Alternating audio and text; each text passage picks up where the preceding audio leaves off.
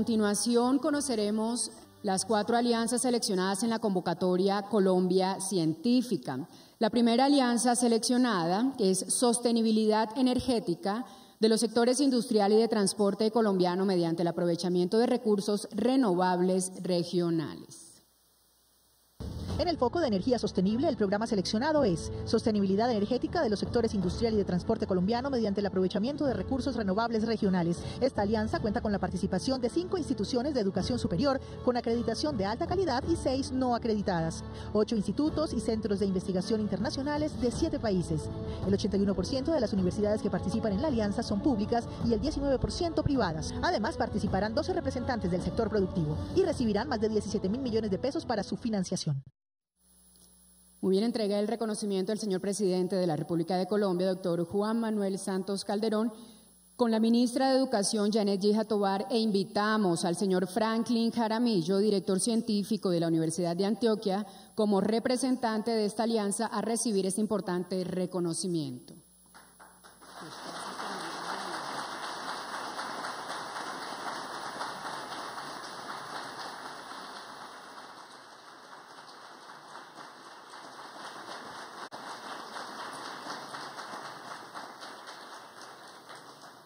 La segunda alianza seleccionada es Inclusión Productiva y Social, programas y políticas para la promoción de una economía formal.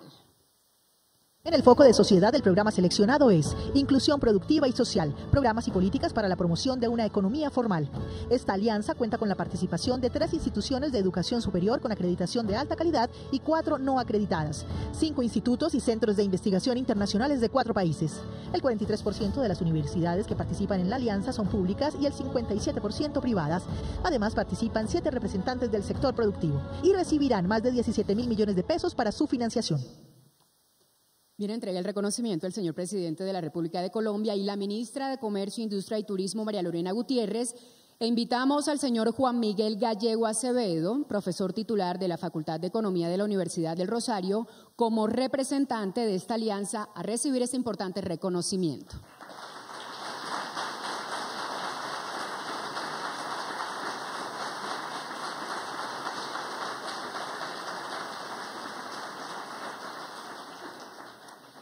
Tercera alianza seleccionada. Generación de alternativas terapéuticas en cáncer a partir de plantas a través de procesos de investigación y desarrollo translacional articulados en sistemas de valor sostenibles ambiental y económicamente. En el foco de bioeconomía y salud, el programa seleccionado es generación de alternativas terapéuticas en cáncer a partir de plantas a través de procesos de investigación y desarrollo translacional articulados en sistemas de valor sostenibles ambiental y económicamente. Esta alianza cuenta con la participación de tres instituciones de educación superior con acreditación de alta calidad y cuatro no acreditadas, cuatro institutos y centros de investigación internacionales de tres países. El 57% de las universidades que participan en la alianza son públicas y el 43% privadas. Además, participan dos representantes del sector productivo y recibirán más de 17 mil millones de pesos para su financiación. Entrega el reconocimiento el señor presidente de la República de Colombia y el presidente del ICETEX, Alejandro Venegas. Invitamos entonces a la señora Susana Fiorentino Gómez, docente investigadora de la Pontificia Universidad Javeriana, como representante de esta alianza para recibir este importante reconocimiento.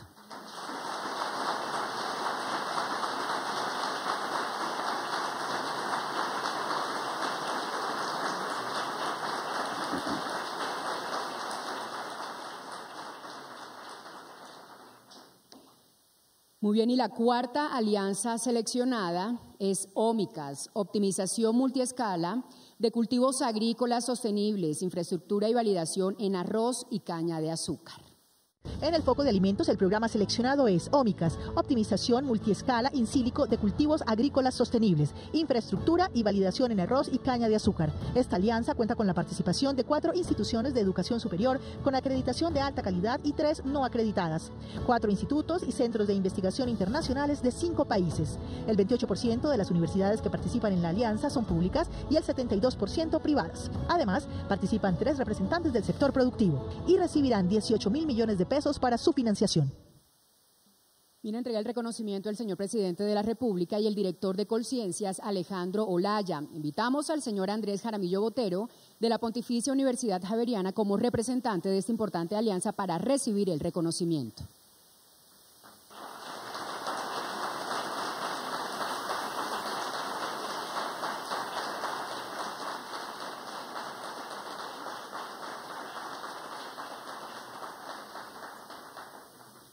Muy bien, y luego de la entrega de estos reconocimientos, señoras y señores, a continuación se dirige a ustedes el señor presidente de la República de Colombia, doctor Juan Manuel Santos Calderón. Muy buenos días a todos, señoras ministras de Comercio, María Gutiérrez, y Educación, Janet Gija, señor director de Conciencias, Alejandro Oraya, funcionarios del Gobierno Nacional que nos acompañan, delegados de las embajadas, un saludo especial a todas las alianzas beneficiadas y a los líderes del programa Colombia Científica, a los representantes de la comunidad académica y científica, todos los invitados especiales. Este es un evento muy importante, estamos además en una semana muy, importante dedicada principalmente a la educación. Celebramos el Día del Maestro el martes.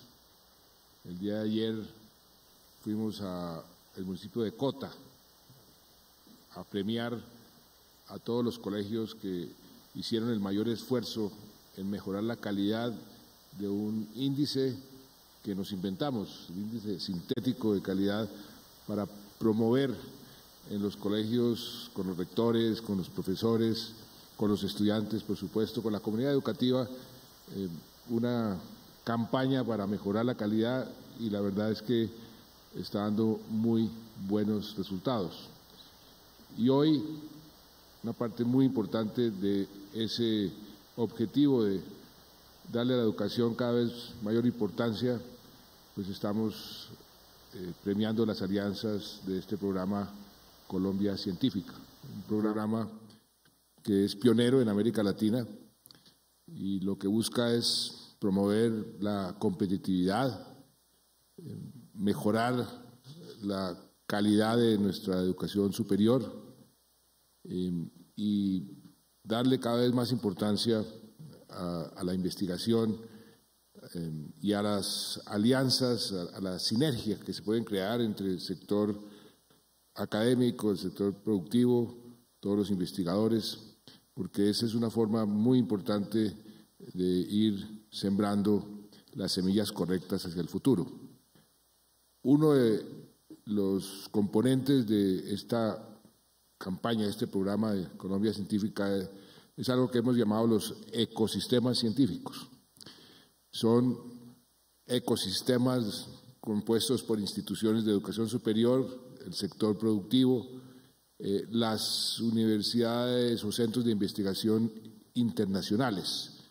Creemos que ese componente genera una sinergia muy, muy especial que nos va a ir jalonando cada vez hacia un país con mejor educación y mejor capacidad de investigación científica.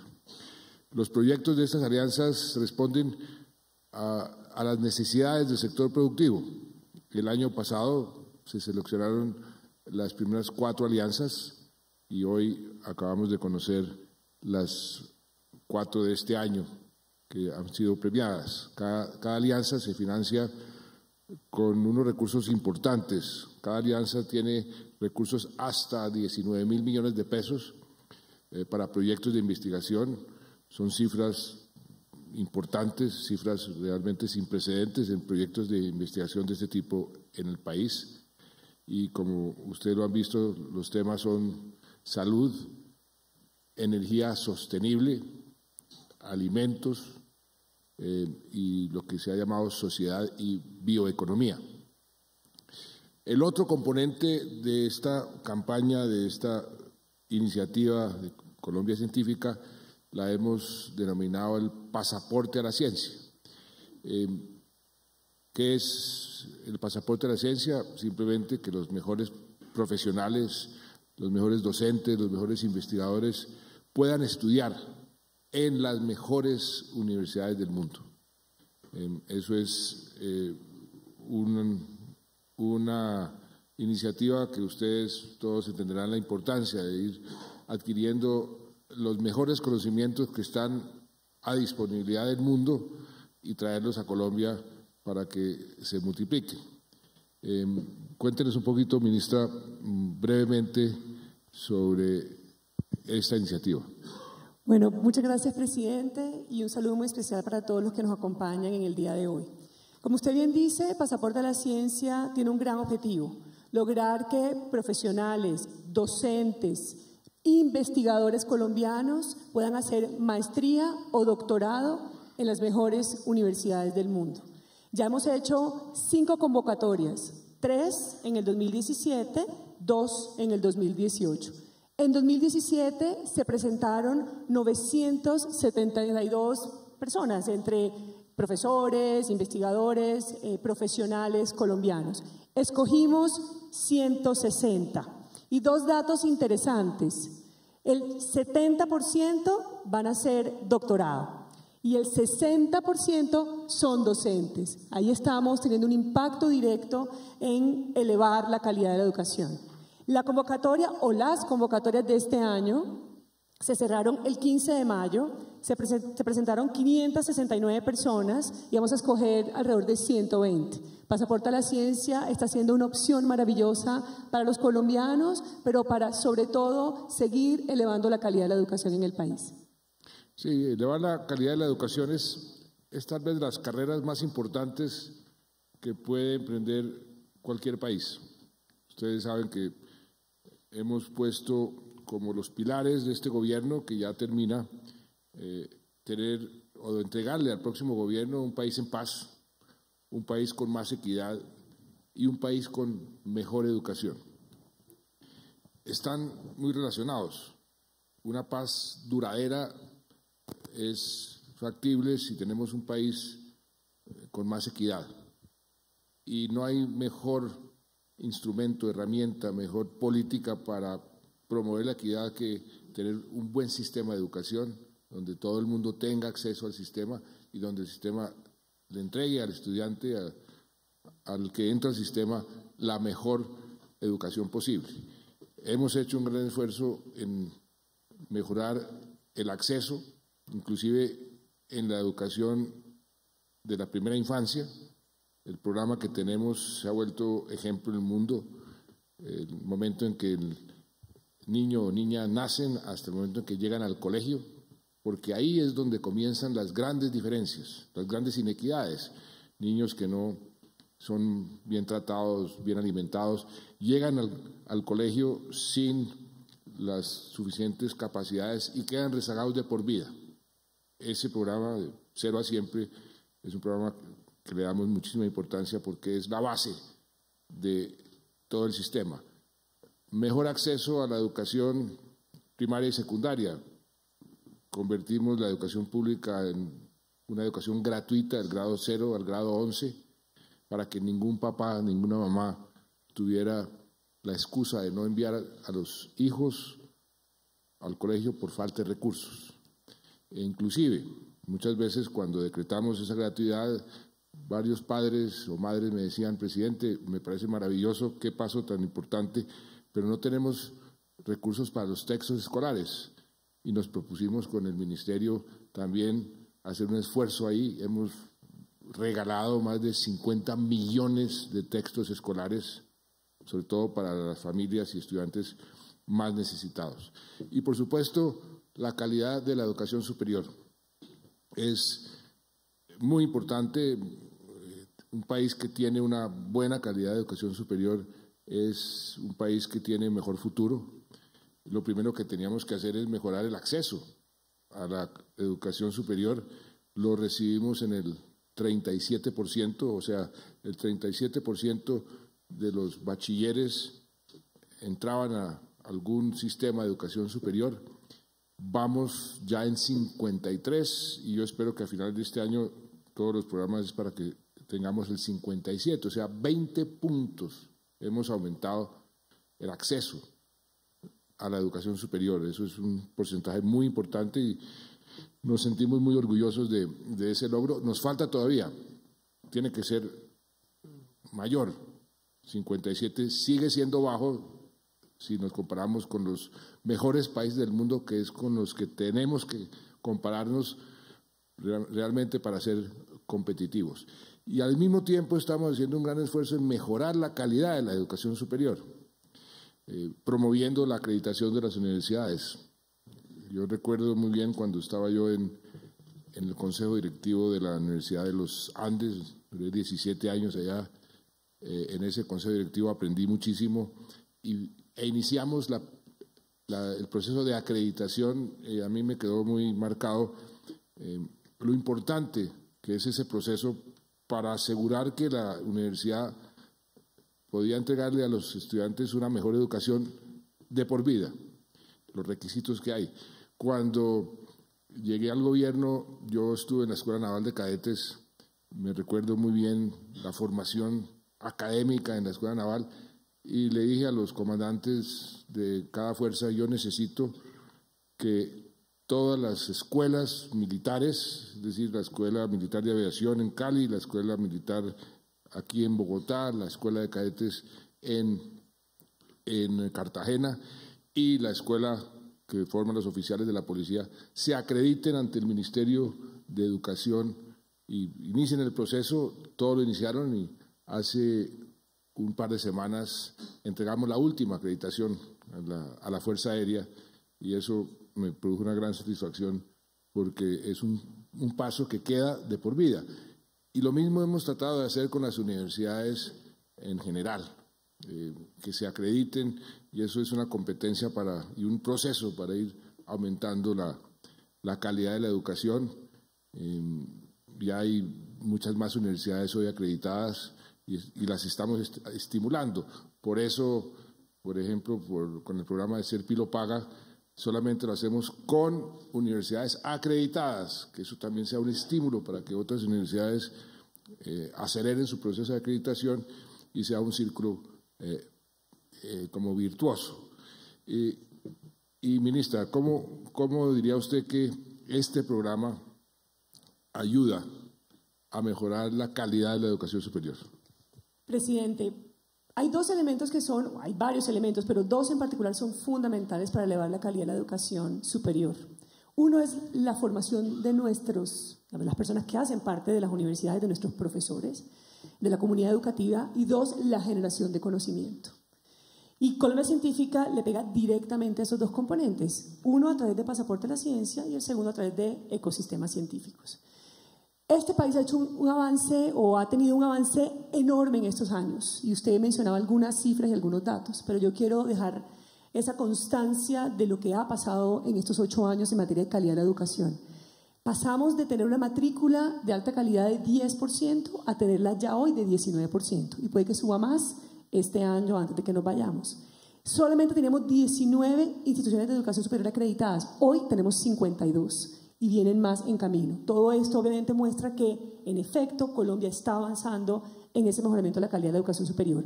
Pero Colombia Científica tiene unos componentes, unos elementos que definitivamente van a tener todo que ver con la fase que viene. Es decir, va a ayudar para que el país siga en esa vía. ¿Por qué? Primero, porque vamos a formar gente. Dos, porque vamos a lograr que, las universidades acreditadas jalonen a las no acreditadas. Por eso hacen parte de las alianzas. Tres, porque vamos a estar en contacto con el resto del mundo, con ese conocimiento que está afuera, listo para ayudarnos a nosotros también a incrementar ese valor. Pero cuatro, creo que no es menor, es esa articulación con el sector privado. Una educación pertinente también es una educación que va a impactar directamente en la calidad. Y por eso creemos que Colombia Científica es un paso importante para Colombia, sobre todo para elevar la calidad de la educación superior.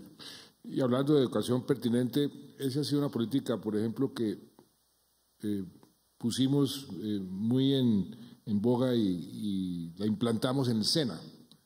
Eh, le dijimos al SENA hace ocho años, mire, ustedes tienen que, que hablar con el sector productivo y establecer unas prioridades de qué es lo que el sector productivo necesita hacia el futuro y ustedes tienen que acoplarse a esas necesidades porque ustedes al fin y al cabo son una institución que está capacitando eh, la mano de obra del sector productivo. Eso se hizo y eh, ha tenido unos resultados muy importantes. Por ejemplo, cuando llegamos al gobierno, uno de cada cuatro aprendices conseguía empleo. Hoy estamos prácticamente tres de cada cuatro. Eso se llama pertinencia. Y no solamente hemos aumentado el número de, de personas, de aprendices, sino sobre todo la pertinencia ha sido un factor fundamental para que el SENA hoy sea una herramienta mucho más productiva eh, y más útil a todo el sector productivo y a la competitividad del país. Y nada de esto ha sido, como dirían los científicos, producto de una generación espontánea, es el resultado de una política seria, bien pensada, con objetivos claros y sobre todo pensando en el largo plazo. Mucha gente me decía, ¿y usted por qué le dio tanto presupuesto a la educación? Eh, porque la educación es lo más importante. Puede que uno no pueda recoger los créditos políticos en el, en el corto plazo, pero es lo más importante que uno puede hacer por una sociedad. Por eso llevamos cuatro años con la educación en el primer puesto en materia de eh, recursos del presupuesto. Esa visión no es otra que hacer de Colombia eh, una sociedad actualizada, es decir, una sociedad del conocimiento. Un país en el que la investigación, la innovación, la ciencia, la tecnología sean un, motor, inclusive el motor principal del desarrollo. Y esa convicción y ese, esa visión teníamos que traducirla en acciones concretas. Y, y comenzamos por poner en marcha unas reformas profundas para incrementar algo que es absolutamente necesario en la vida. Eh, necesitamos recursos, recursos para invertirle a este sector. Eh, y entre el año 2010, cuando llegamos al gobierno, y este año el sector de la ciencia, tecnología e innovación ha recibido inversiones públicas por cerca de 16.7 billones de pesos. Esto es mucho más que el doble de lo que recibió entre el año 2009, 2012 y 2009, que fueron algo cercano a los 7.5 billones de pesos. Además, hicimos una reforma para dejarle recursos de por vida, una reforma que fue muy difícil, muy complicada de sacar en el Congreso, eh, porque en el marco del Sistema Nacional de Regalías creamos un porcentaje específico a través del Fondo de Ciencia, Tecnología e Innovación eh, o sea, el 10% de las regalías, o sea, ese fondo se va a alimentar con el 10% de los ingresos que el Estado recibe por la explotación de sus recursos mineroenergéticos eh, y los resultados han sido muy positivos. Entre el año 2012, que fue cuando comenzó a operar esta reforma, y el 2018, se le han asignado a este fondo eh, cerca de 5 billones de pesos pero sabemos que podemos y debemos hacer mucho más. Eh, ojalá pudiéramos tener muchos más recursos. Y es por eso que ya presentamos en el Congreso un proyecto de ley para garantizar algo que también tengo que confesar que eh, no nos fue tan bien y por eso lo estamos corrigiendo, es la asignación más eficiente de los recursos de este fondo. Inicialmente habíamos pensado que eran, iban a ser unos recursos para grandes proyectos. Esto entró en, discusión con los gobernadores, eh, los departamentos que son eh, legalmente los dueños de las regalías. Entonces, cada departamento quería su, propio proyecto, sus propios recursos, y se fue, en cierta forma, desvirtuando el objetivo fundamental. Pero con esta ley que presentamos al Congreso, que fue concertada con el mundo científico, creemos que vamos a, enderezar el, objetivo fundamental de este fondo, que como les digo es de por vida, 10% de regalías, que ahora además con el precio eh, del petróleo que estamos viendo en los mercados internacionales, pues este fondo se va a enriquecer eh, mucho más rápido. Le estamos apuntando, entre otras cosas, también a, que haya mayor transparencia. Queremos, por ejemplo, que los proyectos que se financien a través del fondo se seleccionen únicamente mediante convocatorias, convocatorias públicas. Eh, y en esto, Alejandro, cuéntenos qué otras novedades tiene el proyecto que está en el Congreso, porque es un proyecto al cual le damos mucha importancia. Sí, presidente, gracias. Y buenos días para todos. Precisamente en este momento está el primer debate, el, el proyecto de ley, que adicional a lo que usted señala también introduce dos novedades muy importantes. La segunda es que las propuestas y los proyectos los deberán presentar solamente entidades que hagan parte del Sistema Nacional de Ciencia y Tecnología. Eso nos va a garantizar eh, que la ejecución de estos recursos la van a hacer las entidades expertas del país en materia de ciencia y tecnología y vamos a tener mejores resultados. Esa es la segunda novedad. Y la tercera es que independientemente de la naturaleza jurídica de quien presente el proyecto, si es el que es seleccionado en el proceso de evaluación, será el que ejecute el proyecto. Eh, es decir, ya no va a haber intermediación a través de entidades territoriales, sino que directamente la universidad o el centro de investigación o la empresa, como el caso de Ecosistema Científico, que se ganó la, la, convocatoria, recibe sus recursos y los ejecuta directamente. Estas son las tres principales novedades que se han planteado en el proyecto de ley y que adicionalmente eh, están validadas con una reforma constitucional que hicimos también el año pasado, presidente, y que ya tiene exequibilidad de la Corte Constitucional, así que eh, también es, está muy fortalecido el proyecto de ley en sus bases. Y también hemos impulsado reformas para que los empresarios, el sector privado, inviertan más en actividades de, ciencia, tecnología e innovación. Eh, y vamos por buen camino, porque los incentivos son bastante atractivos. Eh, en el año 2009, la inversión de las empresas, las empresas privadas, en actividades de ciencia, tecnología e innovación era del 29.6%.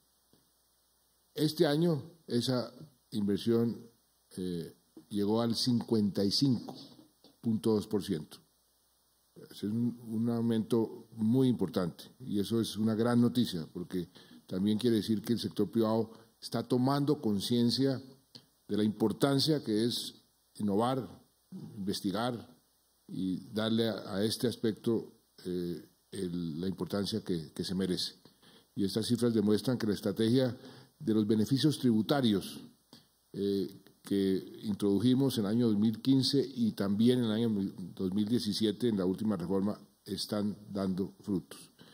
Eh, Alejandro, ¿por qué no nos, habla sobre qué otros instrumentos eh, han permitido este tipo de avances?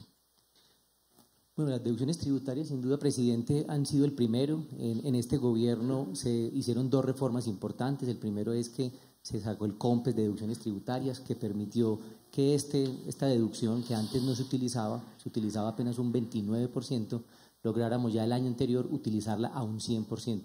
Son 500 mil millones de pesos anuales que están disponibles para que los empresarios financien sus proyectos de investigación y los descuenten luego de los impuestos. Pero adicionalmente, este año el cupo se amplió a 650 mil millones. Es decir, hay más recursos para que los empresarios puedan seguir innovando.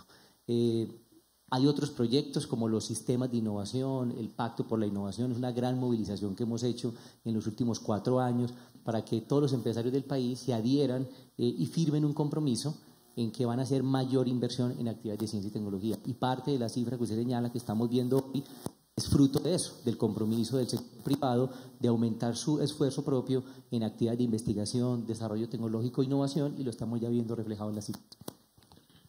Sí, además del objetivo de, posicionar el conocimiento, eh, la innovación, eh, la producción científica y tecnológica como, ejes fundamentales de la competitividad, y que además esos objetivos los consignamos en el plan de desarrollo, nos trazamos unas metas muy ambiciosas a largo plazo. Eh, yo les decía a los funcionarios y a los ministros al comienzo del gobierno, tenemos que pensar en grande, y tenemos que soñar para que esos sueños se puedan convertir en realidad.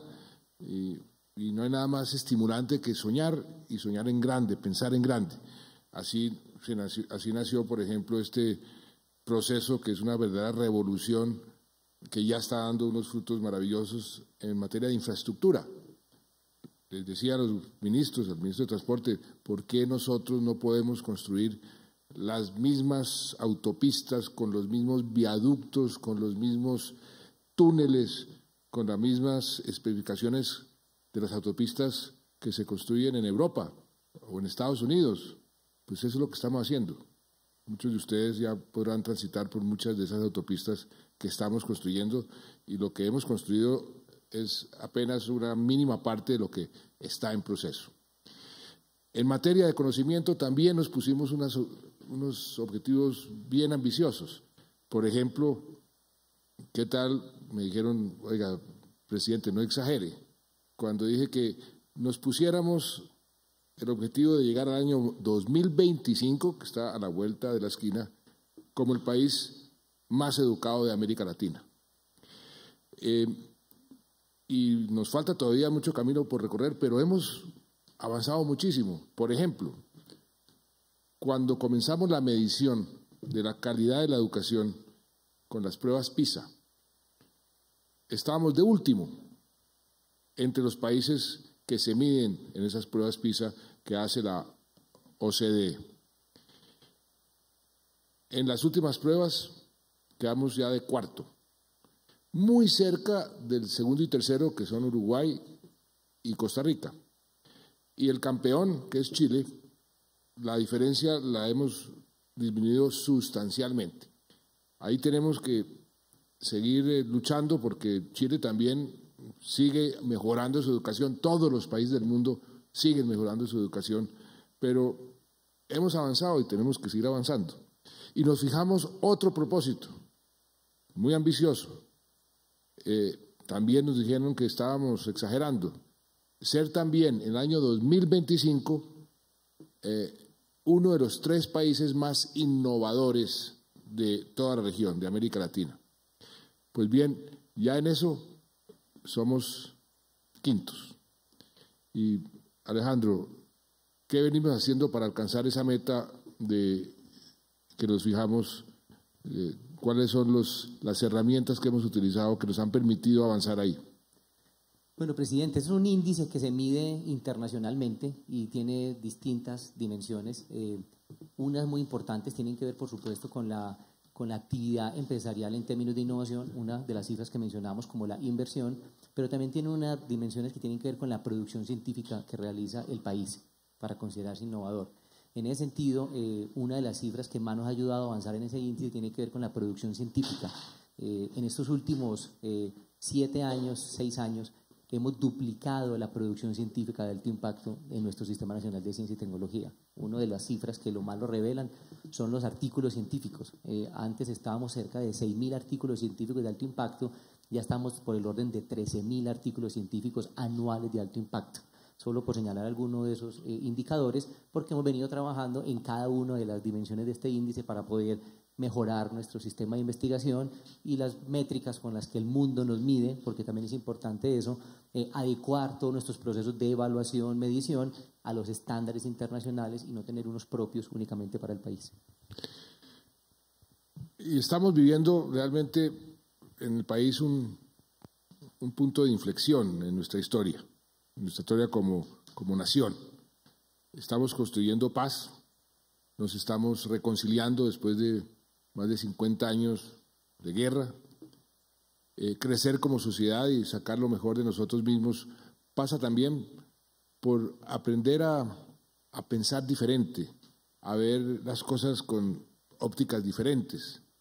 Y también pasa por aprender a, a, innovar, a ser audaces, a ser creativos, a encontrar en la ciencia las respuestas para seguir transformando nuestra sociedad. Esa es una tarea que tenemos hoy, pero que también es un legado que le queremos dejar a las futuras generaciones. Estamos, de cierta forma, sembrando las semillas. Y con eso en mente estamos fomentando esa vocación científica en nuestros niños, en nuestros jóvenes. Y lo estamos haciendo a través de eh, programas como programas eh, Ondas, eh, que beneficia a más de 3 millones de colombianos que hacen parte de lo que hemos llamado la generación de la paz. Háblenos, Alejandro, sobre ese eh, programa de ondas, cómo este programa eh, impacta la vida de los niños en todo el país. Bueno, el programa Ondas eh, comienza por despertar la vocación científica en niños y jóvenes hasta una edad de 16 años. tiene cobertura en los 32 departamentos del país. En él participan cerca de 125 mil maestros en toda Colombia que de manera extracurricular y ad eh, trabajan con grupos de investigación que forman los niños en los colegios en proyectos de investigación. Algunos de esos proyectos desde Conciencias se preestablecen temáticas de investigación y de esa manera los niños en los colegios comienzan a apropiar el método científico. Eh, y finalmente esto va logrando que encuentren una vocación en el mundo de la ciencia y eventualmente eh, sigan la ruta y tomen algunos de nosotros programas, como las becas de doctorado. El programa Ondas Presidente tiene 15 años, cumplió este año 15 años, pero en este gobierno es donde hemos hecho mayor intensidad en inversión de recursos y estamos viendo ya eh, resultados de niños Ondas que ya son adultos y han terminado sus estudios de doctorado. Por aquí tenemos a uno de ellos entre nosotros y que están incluso ya empezando a trabajar en temas de investigación postdoctoral. Eh, Aquí está uno de los que fue niño, onda presidente, que fue, ya, ya no es un niño. De, niño no tiene nada, ¿no? pero muestra cómo el programa realmente despertó su vocación científica y eligió un futuro en el mundo de la ciencia. Qué bueno. Es que invertir en ciencia, en tecnología, en innovación, eh, es invertir en, en desarrollo, en competitividad, en conocimiento, es invertir en futuro. Y eso, si si ese chip lo tenemos todos, eso hace que el país le dé cada vez más importancia a ese propósito. Y es también sentar las bases de esa construcción de paz que estamos haciendo, eh, para que sea, como les decía, una, paz estable, duradera, tenemos que tener una mejor educación.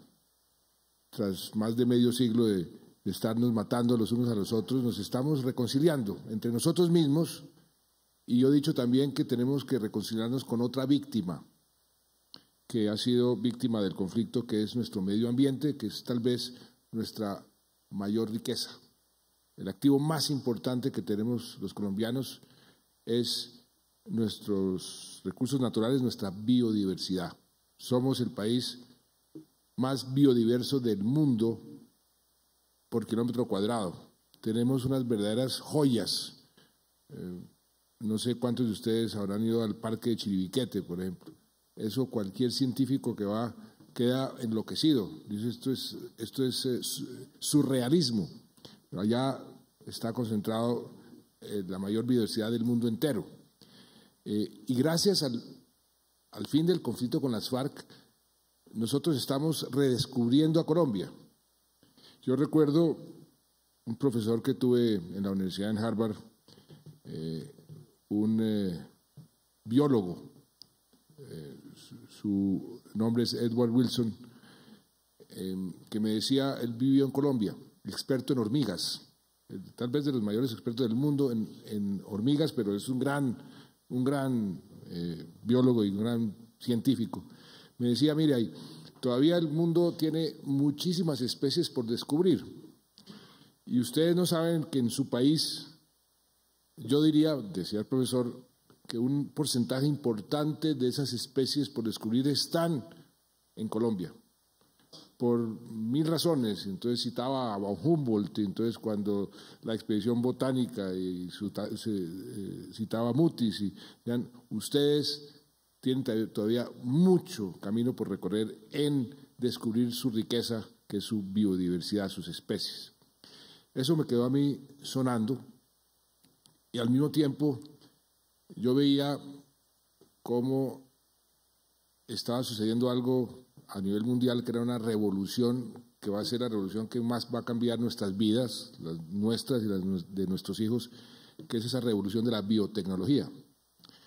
Yo decía, ¿cómo podemos conectar la riqueza en biodiversidad con la biotecnología, que es lo que está además generando la mayor riqueza en el mundo, las empresas que están agregando valor a su, a su empresa con más rapidez en las bolsas mundiales son las empresas que están invirtiendo o que tienen una ventaja comparativa y competitiva en materia de biotecnología.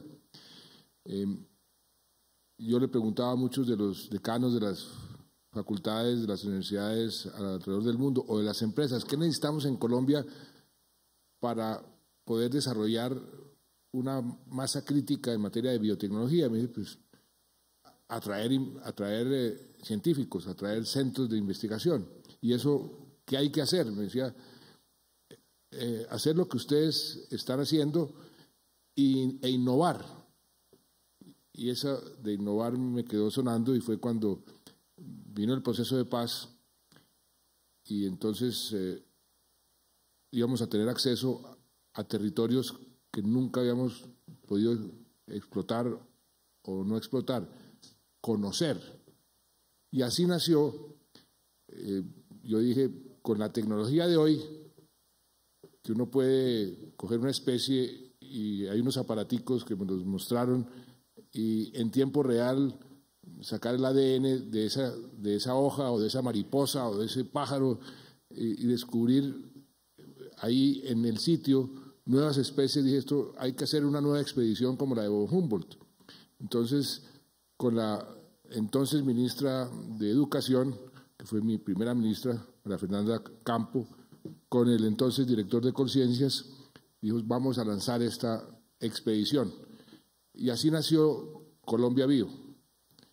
Y antes zonas rojas que eran impenetrables, inaccesibles, eh, inclusive ahí se estaban cometiendo muchos ecocidios eh, en materia de, medio ambiente por la contaminación de los ríos, el, petróleo vertido sobre los, sobre los mares. Ahora son sitios que están comenzando a, a, conocerse, el turismo que está llegando, el ecoturismo que está llegando a esos sitios es impresionante y la investigación científica. Entonces, dividimos el país y nos propusimos hacer 20 expediciones en diferentes sitios. Em, eh, llamamos a las universidades colombianas, muchas universidades internacionales, sector privado, y eso ha tenido realmente un desarrollo muy positivo. Ya llevamos 14 expediciones de las 20 que nos propusimos para eh, este año, o sea, 20 en todo el proceso, y tenemos eh, tenemos el, plan de que sean 100 más. Eso eh, le quedará al próximo gobierno. Mm, las 20 las vamos a terminar en este gobierno, pero 100 más. Y en lo que ya llevamos, hemos ya descubierto 126 mm, especies nuevas o potenciales especies nuevas, 133 especies endémicas que solamente las tenemos aquí en Colombia 211 especies con algún criterio de conservación, eh, cinco especies que habíamos decretado su extinción, eh, se redescubrieron, no, no están extintas, están ahí. Em, vamos a ver si se puede continuar con estas expediciones hacia el futuro para que esas otras 100 se puedan realizar. Y yo creo que sí, porque el interés es impresionante. Yo estuve en Alemania la semana pasada, estuve en, un museo maravilloso donde se conserva la biodiversidad en Berlín con los investigadores alemanes. Todos me hablaban, nos hablaron, porque ya estuvo el director de conciencias, que fui con también el, eh, director de Corpoica, para decir, mire, las, las especies y, las innovaciones que estamos haciendo en Colombia y estos investigadores alemanes que son unos grandes investigadores, porque Alemania es un país que le ha dedicado muchísimo a este tema de la ciencia, la tecnología, nos decían, eso de la expedición vivo es algo maravilloso. Eh, en una expedición sola, en, la, en Boyacá, vinieron 35 eh, científicos, biólogos de Kew Gardens en Inglaterra. Ese es el tipo de interés que esto ha suscitado. Eh, y es un punto de partida también para ese sueño, eso es otro sueño que tenemos, pero eso le quedará a los próximos gobiernos, de, convertir nuestra economía en una bioeconomía. Que descubramos y redescubramos lo que tenemos los colombianos. Eh, porque nosotros pues tenemos muchísimas cosas que no apreciamos, comenzando por nosotros mismos. Los colombianos muchas veces no valoramos lo que somos. Somos un pueblo maravilloso, un pueblo con un futuro extraordinario, un pueblo que si se une alcanza cualquier propósito. Y por eso los dejo, con eso termino, con un video que recoge algunas de las imágenes más impactantes de esa experiencia maravillosa que es Colombia Bio.